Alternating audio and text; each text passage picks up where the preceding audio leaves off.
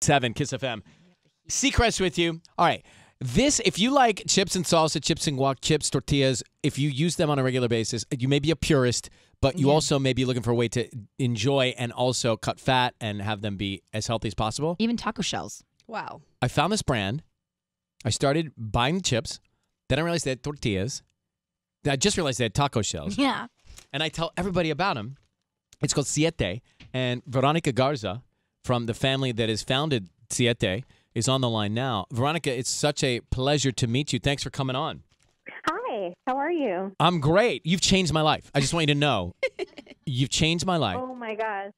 because a year ago I discovered your chips. I think I discovered the the lime flavor. Oh, and I mm-hmm. started to eat them, and I'm like, these are good. How can they be as as healthy as it says? And so I read the back, and then I see a picture of your family and the story of your family, and I've just fell more in love with the product. And now, I mean, I take these chips into restaurants and ask for permission to use them instead of the greasy chips. He really does.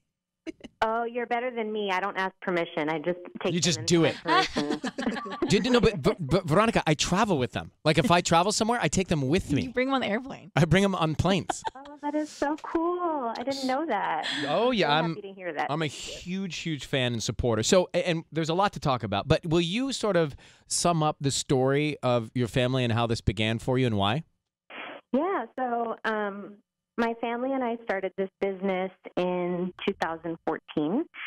And really, it came about from um, one product that I had started making, really just to solve a problem for myself and my family. Um, I have multiple autoimmune conditions um, that I was diagnosed with when I was 17 years old. On my brother's older brother's recommendation had changed my diet to remove a lot of things um, that were uh, causing inflammation. And so at the time that meant following a paleo type of diet mostly grain free but the really cool thing about it that made it easier for me to do was the fact that my whole family started eating that way with me and so um, i had started experimenting with you know, using different whole food ingredients to make products that um, I was really missing. Um, my family and I, at the time, there weren't breads and things that we could buy, so we started using almond flour to um, Sure. play around with in the kitchen. But there was still one thing uh, that was just such a staple in our lives and really important to our culture um, that we didn't have and uh, there wasn't any access to, uh, which was a tortilla. So I decided to get in the kitchen and see if I could develop something that was at least reminiscent of a tortilla. Uh, so I just took some almonds and a couple of other ingredients and put them together, used a little tortilla press, and they tried it and they all liked it. And uh, we just started making those on a weekly basis. I pulled my mom in, and she started helping me make batches. And uh, we we finally had something on the table that allowed us to continue eating the foods that we loved, um, but still, you know, maintain the sense of health that that we were loving.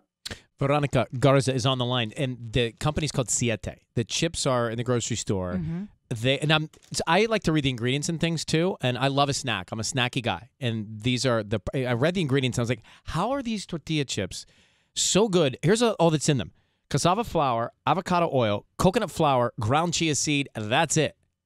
So good. And I don't feel bad after I eat them. They're gluten free, they're grain free, they're paleo, they're vegan friendly, they're made with avocado, they're dairy free, they're soy free. There's no corn, wheat, or rice. I mean, come on, you, it's like the greatest fantasy of all time. Literally. I, I, I just, I'm, I'm so happy that you are. You, I know you did this for you, and the happy that you're sharing it with the rest of us. And congratulations! I was reading in the news that you guys just got a ninety million dollar investment.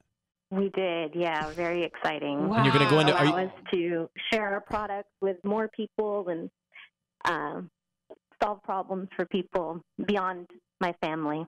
Four thousand grocery stores will be carrying It's this brand. incredible. Would you ever open a restaurant for us?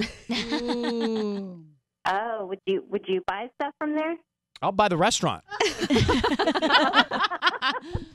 It's fun. I mean, that's how much I love it.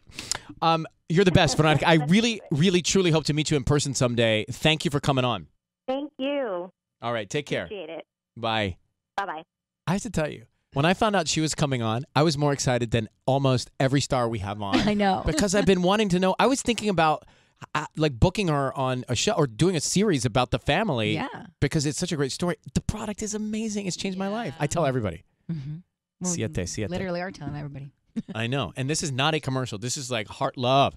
Heart love. Heart love.